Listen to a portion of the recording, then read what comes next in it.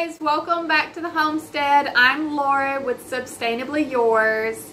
We just got back from a big adventure at one of uh, the Northeast Arkansas Beekeepers Association's um, field day and I tell you what, I had the most fun. I could barely uh, keep it together. I was so excited to be there and to be there.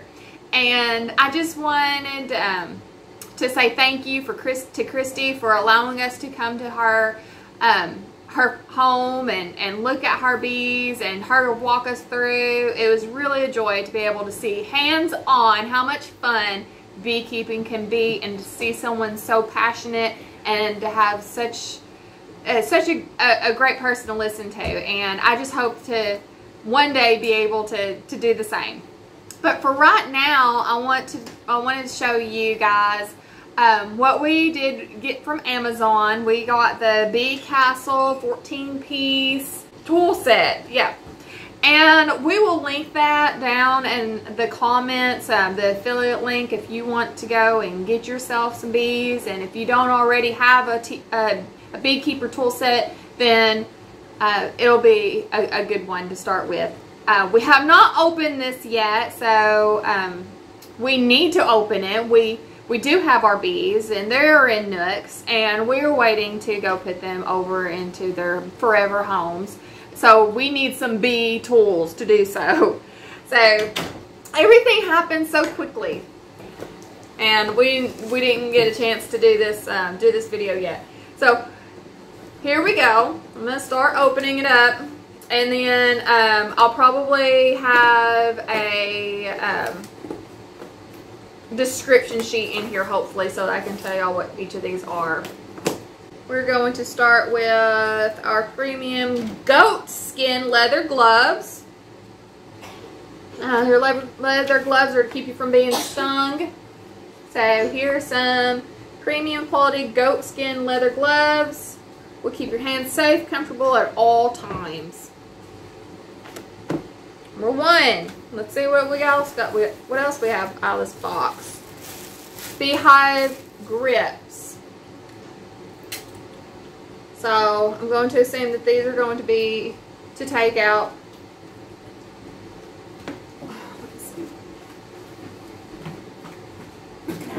We got them right here. These bee frames.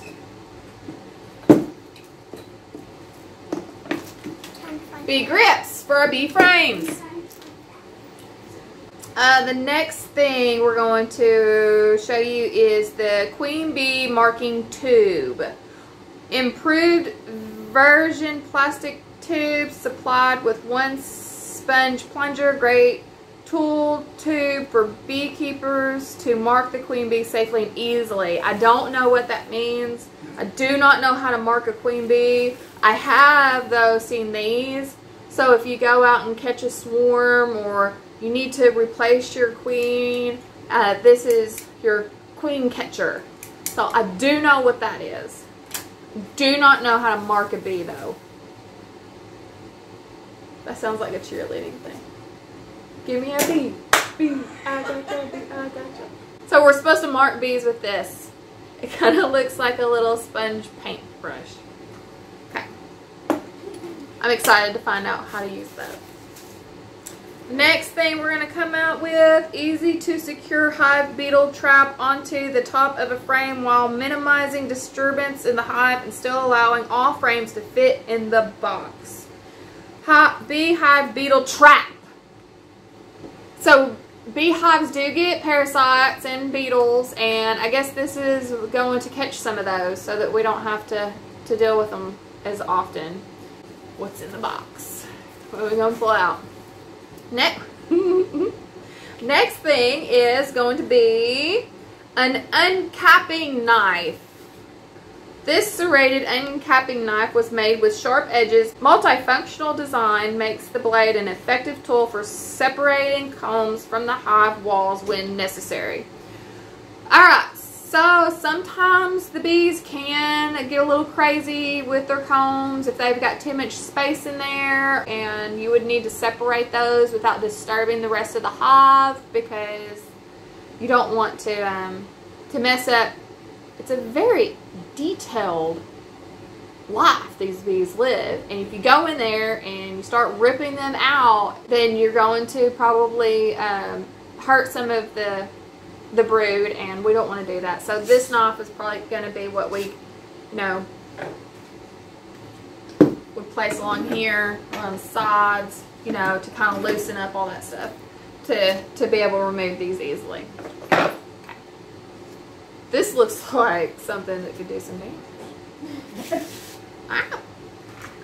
Next thing on our list, let's see, is going to be hive scraper tool. Best choice for separating hive boxes, prying out frames, scraping wax, and propolis off of your bee boxes and frames. I might want to get me some steel-toed shoes because this looks like it would really hurt if I dropped it on my foot. Here's what this looks like.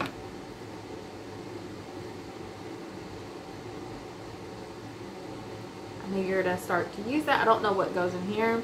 I might figure that out later. It looks like it's important, but I don't know. That's the fun of learning. We don't know what we're doing, but we're going to try anyways. And if anybody has any comments about that wants to enlighten me, then feel free to do so down in the comments. So this is a bee brush. This special soft bristle brush that will not harm the bees with durable bamboo handle. Gently removes bees from the frames both during inspections of the hives and removal of the honey. We were just blowing on them. We weren't using this. we weren't. We were going, move out the way. But this is probably a better thing to do than blowing on them. I don't mind them. We had a veil anyway, so they weren't going to sting my face. But here's a brush to get closer to see um, at what stage the um, brood is, some larvae, um, where they're putting pollen and um, all that stuff, just to check them out, inspections purposes. Next thing, ow, is newly designed uncapping fork. Why did it have to say newly designed when I don't even know what the old design looks like? They could have just said uncapping fork because it's all the same to me at this point. I don't know what a newly designed one or how special this one is now that it's newly designed. But apparently they're pretty proud of it because they got to put it in the in the information that's newly designed. Not to be mistaken for the old design. And it is really sharp. Okay, more efficiently, much less wastage and mess than an uncapping knife. Okay, the L-hook. Meet your different needs. Necessary tool for beekeeping, suitable for prying apart hive bodies, supers, and lifting up frames and scraping off any excess wax or propolis on the frames and hive walls. This. This right here is um, Probably going to be one of the most used tools. I see me using this a lot. Because this is what they were using. Actually, all they were using was like the two tools. And I'm going to show you the, uh, the one that was used the most in just a second. But I can see me using this one probably more often than this mean thing and this scrapey thing. Okay. So, there's that. That's an L hook. Not to be mistaken for the J hook. And this is the one, this is the bad boy that they were using whenever we went to our um, field day. So she was kind of just like, you know, putting this in between those and she would use, see this little L hook? It would go in here and she would pull them out this way. So that was super helpful to see her doing that. And, you know, bees are so gentle. I was so impressed with like there were so many bees like swarming around us, but you would have never known because none of them tried to sting. They weren't aggressive. They were just kind of hanging out in their home, and we were expecting them to like be like trying to like get in our veils and like I was wearing shorts with my um, beekeeper suit, and my short my short my calf was right up against my pant leg of my bee suit. And I was worried that maybe they, it was going to be really thin and a bee was going to sting me. I didn't get stung once, like at all. It was it was so so wild, and I loved every minute of it. I was so excited, and I can't wait for y'all to see us out there working on. So the J-hook is the must-have tool for beekeepers. I understand that. This is very important. The J-shaped hook is used to lift out frames. The sharp edge is for cutting off beeswax as a scraper. This hive tool is a mini crowbar. This one actually looks more like a crowbar. That is used to pry apart hive bodies and supers. So this is going to be my little, I'm going to keep this with me all the time so Jacob doesn't take it because it, it's going to be mine. All right. Very important. Next, our last very important tool and it's probably one of the only one that y'all will be like, yes, I know what that is.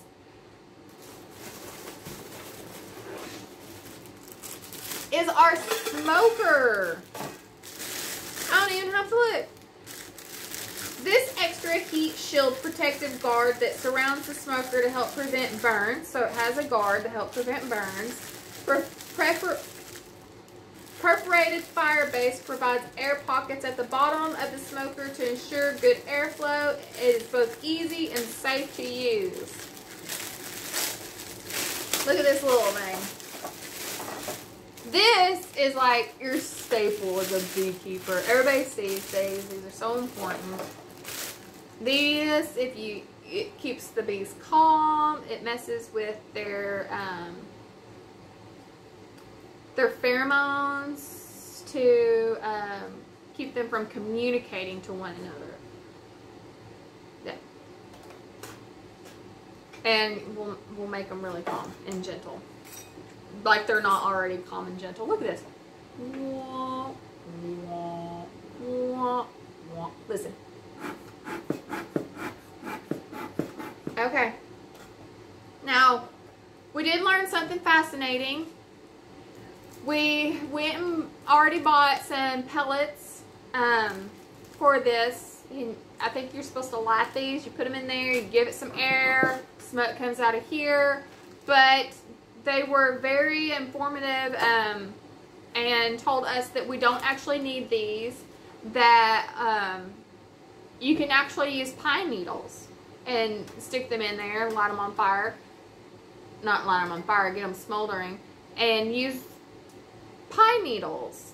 And um, you can also use um, horse bedding and pellets, horse pellets, uh, feeding pellets. And that burns also. So we'll use these.